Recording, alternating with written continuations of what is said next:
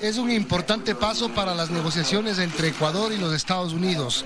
Señor presidente y señora, bienvenidos. Donald Trump es el líder indiscutible, un mentiroso con todas las letras. It's the largest tax cut in the history of our country and reform, but tax cut. Periódicos como The Washington Post reúnen las mentiras de Trump y han llegado a contar más de 8.000 desde que asumió el cargo.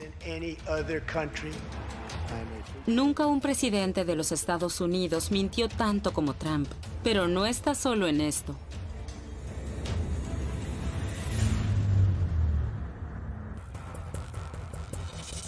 El presidente de los Estados Unidos, Donald Trump, es el autor más famoso de noticias falsas en Internet. Casi todos los días publica falsedades.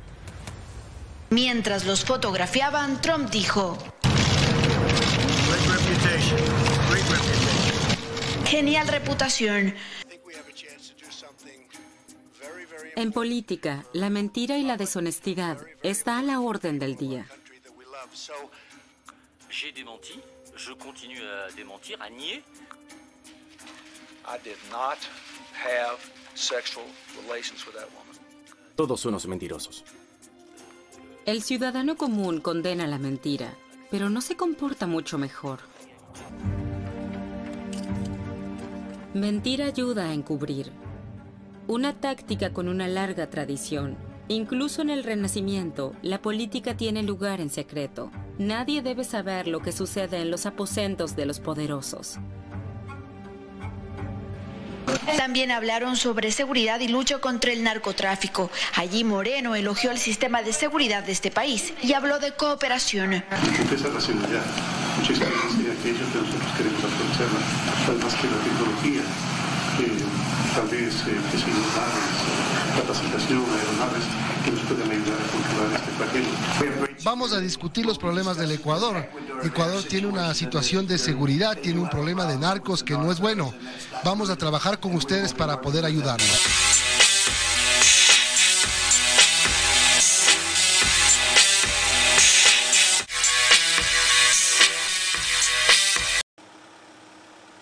Con la reforma constitucional de 2008, Ecuador se despidió de la presencia militar extranjera en su territorio, pero unas declaraciones del ministro de Defensa de Ecuador en 2019 causaron inquietud.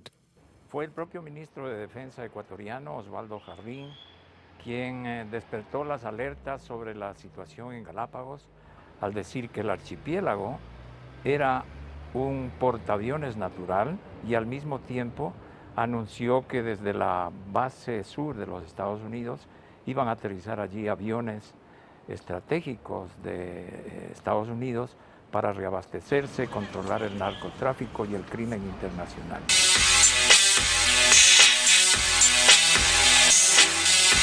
¿Dónde está el problema? ¿Dónde, ¿Cómo piensan ustedes contrarrestar el narcotráfico? En toda Pero si nosotros no somos productores de narcotráfico, ese no es un problema nuestro. Pero la FARC sí. ¿Y por qué no va entonces la base a los países donde tienen narcotráfico? Yo creo que están ¿Por en Colombia. tenemos que tener en Ecuador? Creo que te- están, hay tropas de soldados norteamericanos en no Colombia. perdamos tiempo discutiendo, Oscar. Hagamos una cosa. Si tener soldados extranjeros en el suelo patrio no afecta la soberanía, yo renuevo el convenio de la base de Manta en el 2009 si Estados Unidos me permite poner una base ecuatoriana aquí en Miami. ¿ya?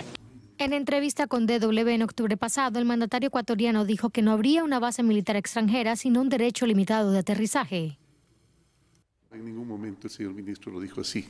Lo que ha manifestado el señor ministro, y nos parece lo más lógico, es que dos aviones que permiten detectar las actividades ilícitas cercanas a la isla Galápagos, entre eso la pesca ilegal y entre esos el, el tráfico de drogas, esos aviones que nos proporcionó Estados Unidos en préstamo, pues aviones que necesitan cargar su combustible.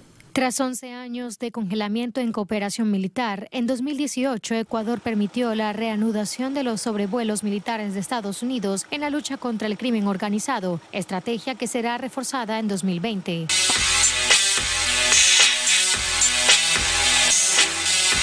Con dignidad y soberanía, el gobierno de Ecuador va a responder la injerencia de la Agencia Central de Inteligencia, hablamos de la CIA de Estados Unidos en su país. Así lo aseguró el presidente Rafael Correa, quien también reveló que después del ataque al territorio ecuatoriano de Angostura el año 2008 por parte del Ejército de Colombia, se ha detectado que la CIA operaba en el país. Atiendo esto. con dignidad, con soberanía, usted lo ha mencionado, y con técnica, obviamente. Después del ataque a Angostura, donde vimos la vulnerabilidad de nuestro servicio de inteligencia, cómo nos había traicionado el jefe de inteligencia, ¿no? Eh, cómo estaba cooptado el, sistema de inteligencia por las embajadas extranjeras. Eh, créame, o sea, los equipos los recibían de la Embajada de Estados Unidos, la inteligencia, unidad de inteligencia militar, policial. Sueldos de Estados Unidos, las camionetas, las computadoras.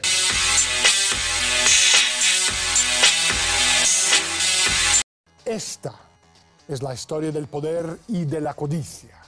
La historia de los hombres miserables que juegan a Dios en el nombre de las ganancias corporativas. Los conocemos por su nombre, porque los vemos en la televisión y sus nombres están estampados en letras grandes y gruesas en los medios corporativos. Son inmunes a la persecución y el mundo es incapaz de detenerles. Hasta ahora. John, bienvenido al programa, gracias por estar con nosotros. ¿Cómo te convertiste en un sicario económico? Uh, bueno, fui reclutado por la Agencia de Seguridad Nacional cuando aún estudiaba en la universidad, en la Escuela de Negocios y tuve que pasar una serie de exámenes psicológicos largos, luego pasar por el detector de mentiras y finalmente me reclutaron. Pero después supe del cuerpo de paz y tenía muchas ganas de ir a la Amazonía. Así que hablé con la gente de la agencia de seguridad y me dijeron que fuera de voluntario por un par de años y que después me contratarían. Cuando aún estaba en el cuerpo de paz en la Amazonía, vino a Ecuador un hombre que era vicepresidente superior de la empresa en la que acabé trabajando. Él me ofreció trabajo como economista en su empresa. Después descubrí que él estaba vinculado con la Agencia Nacional de Seguridad. Acepté aquel trabajo. Me convertí en economista jefe en Charles T. Main, una empresa de consultoría que colaboraba mucho con el Banco Mundial, la Agencia Estadounidense para el Desarrollo Internacional, el gobierno estadounidense y el Departamento del Tesoro. De modo que es solo una versión corta de una historia muy, muy compleja. John, ¿podrías explicarnos el modus operandi de los sicarios económicos? Trabajamos de muchas maneras. La más común es que identificamos a países con recursos que necesitan las corporaciones, como por ejemplo el petróleo, y después organizamos un préstamo enorme a esa corporación a través del Banco Mundial.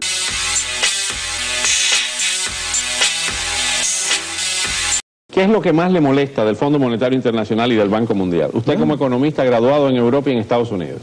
lo que han hecho en los últimos 20 años el Banco Mundial y el Fondo Monetario Internacional, disfrazado de ciencia, es una multimillonaria campaña de marketing ideológico. Todas sus recetas, si usted ve el denominador común, algunas veces ha coincidido con las necesidades de los países, otras no, pero el denominador común ha sido que ha sido beneficiosa en función del capital financiero, sobre todo el capital financiero especulativo.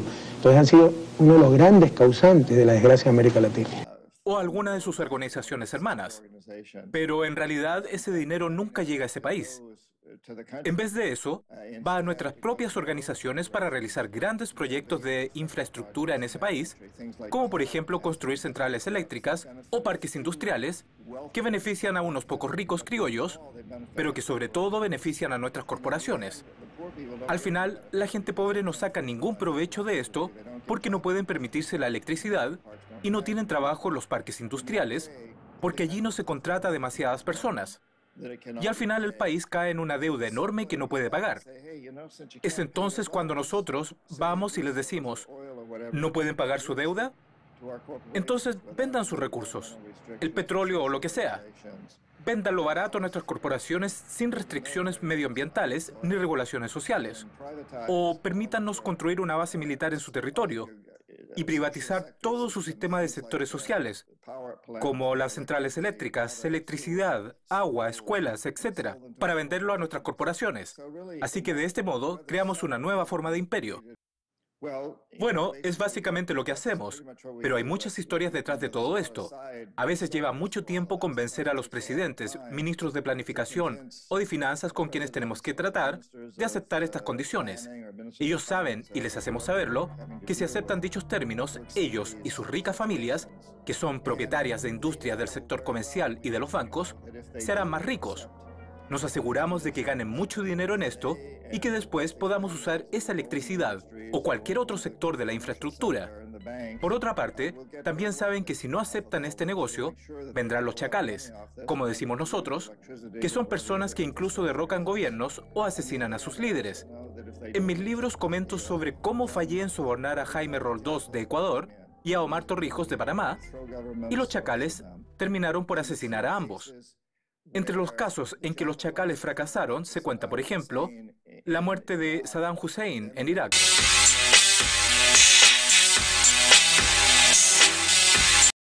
Bien, pues ante esto repasemos de inmediato los rostros de algunas de las personas que han conspirado contra el gobierno del presidente Rafael Correa bajo órdenes de la Agencia Central de Inteligencia de los Estados Unidos. Hablamos, por ejemplo, de Leila Haddad Pérez. Ella es la ex jefa de la CIA en Ecuador. Ocupó este cargo durante muchos años hasta que el presidente Rafael Correa asumió su cargo.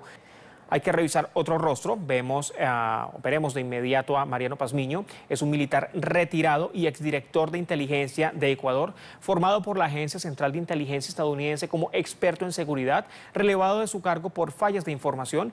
Le, le ocultó al presidente Rafael Correa que el ataque de Angostura ocurrido en 2008 y donde murió el líder de las Fuerzas Armadas Revolucionarias de Colombia, Raúl Reyes, y otras 22 personas fue planificado por la CIA. Testigos señalan que Pazmiño recibió equipamiento de la embajada estadounidense en Quito. Vemos de inmediato otro rostro, se trata de César Ricaute, dirige Fundamedios, una organización que se escuda en la supuesta defensa de la libertad de expresión, pero que en realidad es un instrumento de las acciones psicológicas de los servicios de inteligencia estadounidense en Ecuador. Desde comienzos de la década del 60, la CIA se infiltró en el gobierno la policía, grupos civiles, organizaciones no gubernamentales con el único fin de fomentar intereses de Estados Unidos en el país. Además, aún continúa luchando para imponer su influencia y poder en la región. Muy pocos conocen los movimientos políticos que llevaron a cabo estas fuerzas de inteligencia foráneas para que interviniesen en Sudamérica, en Centroamérica, con consecuencias, ya todos sabemos, desastrosas para la región, además de un enorme impacto en el orden mundial.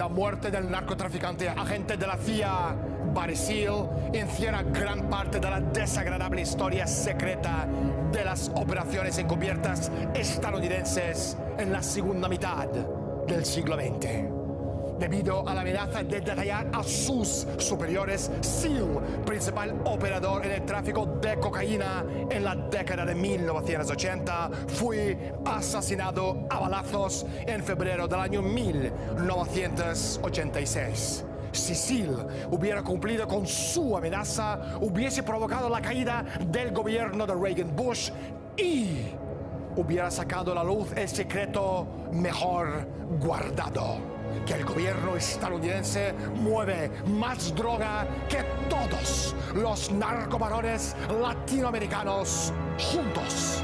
De un piloto norteamericano, Barry Seal. ¿Por qué es importante este piloto? Porque ahorita en la ciudad de Medellín acaban de hacer una película sobre su vida, la hizo Tom Cruise, en una superproducción. Barry Seal era un piloto que trabajaba para Jorge Luis Ochoa Vázquez. Este piloto era muy avesado, un piloto norteamericano que sabía burlar los radares para ingresar a los Estados Unidos con los aviones cargados de cocaína desde Colombia, desde la Hacienda Nápoles y desde el aeropuerto La Herrera de Medellín acá y un aeropuerto privado de la Hacienda Veracruz de los hermanos Ochoa Vázquez. Barry Seal era un super piloto, era un gran piloto para la época. Daniel.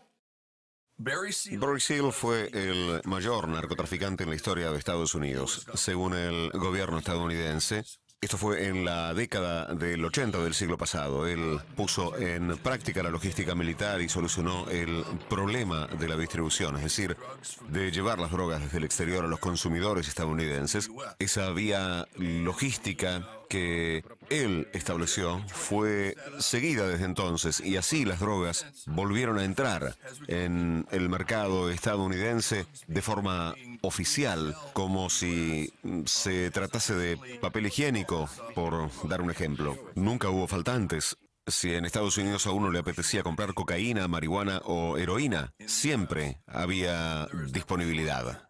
Para quienes conocen detalles del asesinato de Kennedy, el nombre de Furry les sonará familiar. Barry Seal y Lee Harvey Oswald trabajaron juntos en la patrulla aérea civil en Luisiana y fueron reclutados más o menos al mismo tiempo.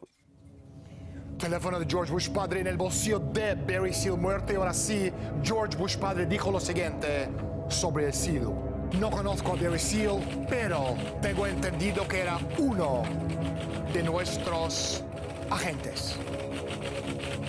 De hecho, una de las grandes razones por las que Ross Perot se postuló a presidente en el año 1992 fue porque estaba indignado por la participación de George H.W. Bush en el narcotráfico. El gobierno de Estados Unidos y la CIA están moviendo miles de millones de dólares en drogas desde América Latina hacia Estados Unidos y lo hacían de la mano con los cárteles y gente como el dictador panameño y ex agente de la CIA, Manuel Noriega. Es irónico ver cómo Noriega está en la cárcel, pero los políticos estadounidenses involucrados en el narcotráfico, le dice Oliver North, los Bush, los Clinton, siguen libres. ¿Cuál es el papel de la familia Bush en el concreto de Bush padre en el tráfico internacional de drogas? Daniel? Es más bien un asunto de la seguridad nacional, pero los dos partidos políticos más importantes de Estados Unidos participan en ello. La gente se ha olvidado de que cuando Bill Clinton fue gobernador de Arkansas en los años 80, cuando toneladas de cocaína fueron importadas al país a través de mina, él trabajaba para el vicepresidente de entonces, que era George Bush padre. Con lo cual, las grandes personalidades y ambos partidos políticos mayoritarios están involucrados en al menos la concesión de tarjetas de vía libre. Las drogas entran a un país cuando hay debilidades.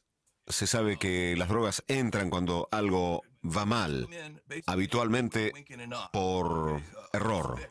Y en realidad, cuando baja el nivel del narcotráfico, se da principalmente porque están teniendo problemas técnicos, como cuando estalla un avión, por ejemplo, me refiero concretamente a esos dos aviones que se estrellaron en Yucatán en el 2006 y el 2007, con 10 toneladas de cocaína a bordo. Los dos aviones tuvieron problemas técnicos y así pudieron detenerlos. Después fue el gobierno de México, no el estadounidense, el que devolvió el dinero invertido en comprar los aviones a Wacovia, el cuarto banco más importante de Estados Unidos. La justicia reveló que en los últimos seis años, este banco había blanqueado 378 mil millones de dólares de dinero proveniente del narcotráfico. El banco pagó una enorme multa y fue forzado a venderse a otro banco supuestamente más responsable. Y es ahí cuando empezamos a darnos cuenta de que la mayor parte del narcotráfico está controlada por los bancos. El año pasado, el banco británico HSBC confesó haber blanqueado una cifra increíble, 780 mil millones de dólares provenientes del narcotráfico. Imagínense, es una cifra colosal. Y pagaron una multa de 30 mil millones de dólares. Pero al blanquear 780 mil millones, habían ganado mucho más que los 30 mil millones que pagaron de multa. Entonces un muy conocido inspector de policía de Miami me explicó que el narcotráfico requería de cuatro cosas. Producción, distribución, que a su vez requiere transportación, y todo eso necesita protección. Esos son los principales elementos de cualquier cártel de drogas. Y sin la protección, toda la cadena se rompe.